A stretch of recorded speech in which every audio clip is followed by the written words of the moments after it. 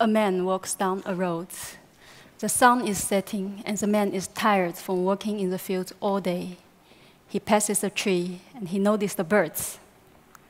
It sits motionless on one of the branches. The bird stares at the man. The man reaches out, trying to catch the birds. In a flash, the bird jumps up and flies away. Why? The man asks himself. Why does that little bird carry the gift of roaming the skies, going wherever it wants to go, while I'm here with my feet stuck to the ground for the rest of my life? So many people, including myself, share this frustration and dream of flights. But all over China, the most unlikely of people are doing something about it. Farmers, they are building their own aircrafts they don't work in fancy hangars with all the equipment one could wish for. They simply play around in their backyards, recycling scrap metal and using household tools.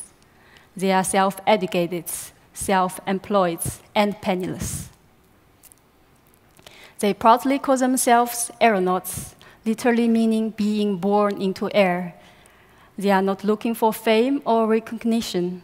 All they care about is following their passion by actively seeking alternatives, always attempting to do things cheaper, faster, easier. Step by step, they are creating a whole new way of moving forwards. I was immediately gripped by the magical and fairy tale qualities of the subjects, fascinated by their romantic quests in contrast to their poor, poor existence. I wanted to know how they deal with the conflict between their reality and their imagination, what makes them continue? Where does the persistence come from? And where will the, will the dream lead them to? So in early 2015, I traveled through China for months. I visited eight villages spread over three provinces. I met eight aircraft builders, listened to their stories, took pictures, and collected many original sketches and technical documents. One of the aeronauts is a 75 years old Chao Zhenshu. He has never succeeded to take off because he is illiterate. He struggles to find the cause of the problem. But he is still trying. Most of the materials he is using are bought from the recycling plants. The fuselage is made of light aluminum tubes. The motor is from an old car, and the wheels are originally from kids' bikes. He said to me, making aircraft is a sort of entertainment. In the same way other people love playing mahjong, I just feel so happy when I build an aircraft. His dream is that one day his plane will fly high enough to pass over a field of canola flowers. The other aeronaut, Xu was 20 years old when he decided to build his first helicopter in 1994. The reason is simple. The small size of his backyard wouldn't accommodate an airplane runway. After 20 years, he is now the idol of lots of aeronauts his gyroplanes have even started to bring about financial benefits. Companies invite him for aerial photography, and he also sells his gyroplanes and their parts. Last year, the first China Civil Aviation Museum, his long-awaited dream, was finally opened. The museum has a collection of around 30 aircrafts made by fellow aeronauts in the future, he wants to set up a runway and hold an air show in front of the museum to give the flight fans a chance to talk and to meet each other.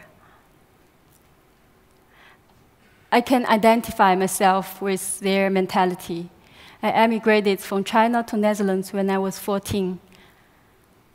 As a teenager, I felt trapped by my new surroundings locked up in my homesickness and longing for China. This changed when I came across photography when I was 22. Everything suddenly fell into place. A world of creativity and expression opened up to me. In photography, I find the medium to tell my stories in a natural way.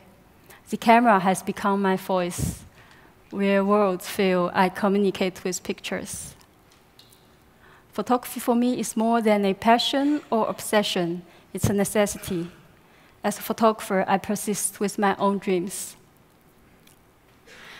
The same for the aeronauts. They spent months, years, decades to experiment, and some of the planes can only fly 20 meters high. For them, it's not about spending 20 years of their lives in order to fly 20 meters.